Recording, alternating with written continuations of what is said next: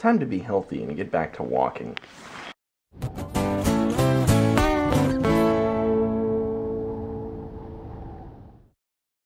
Yeah. It's ocean shores again and I'm going for a walk. I just did my hair as to look pretty. look at me go.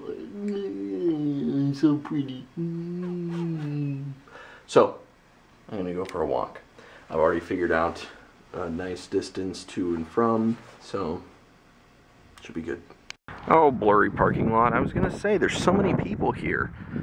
That's kind of strange considering, well, no, I, it is Thursday, and I don't normally travel on Thursdays. I don't think that would make a difference.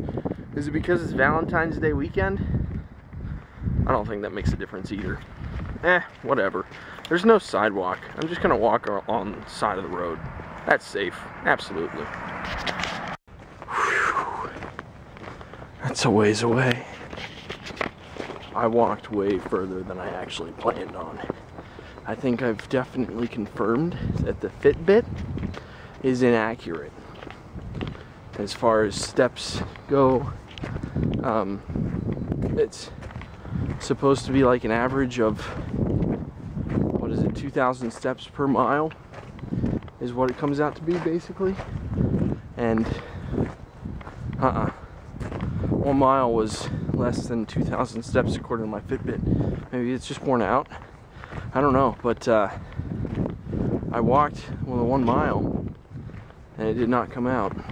It didn't actually come out on my Misfit either, my Pebble. So I honestly don't know. All I know is that wow, wow, wow, wow. I regret big time slacking off so much when it came to walking. Like everything happened in October and at that point in time I put all that on hold I got out of shape so bad. Like I, I didn't even realize it. But I do know that tonight will be the first time I hit 10,000 steps, probably since November. The last good walk that I had, I want to say, was with Robert when he was visiting me. This is unacceptable. Walking helps me get in shape no matter how much I like to bitch and moan about plateauing about my weight,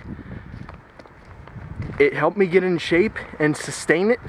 I'd be even happy just sustaining again instead of fluctuating like every week.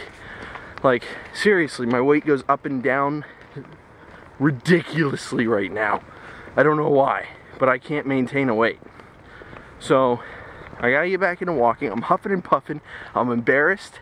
This is awful. So I'm blowing up and I don't like it.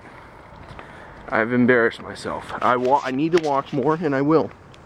That's a guarantee because I'm mad about how just how out of shape I am. So in comparison to even where I was six months ago. Holy cow. Night and day, man. So yeah, I'll get back in, walk, I got lazy big time. I don't want to necessarily blame it on the whole moving and all that stuff, but I don't know. I really don't. So I, there was a lot going on then.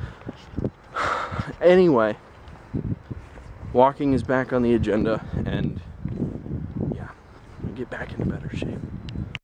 There's a shop over there that says toys. I wonder if they have amiibos. Oh, Speaking of which, I stopped at Walmart in Aberdeen looking for amiibos. They don't even have them in stock. Really? Poor Aberdeen. Oh, and when I say they don't even have them in stock, like, I mean literally, there's nowhere, like, there's no display for amiibos, there's no pegs where they can hang them, there's literally, like, they just simply don't carry them.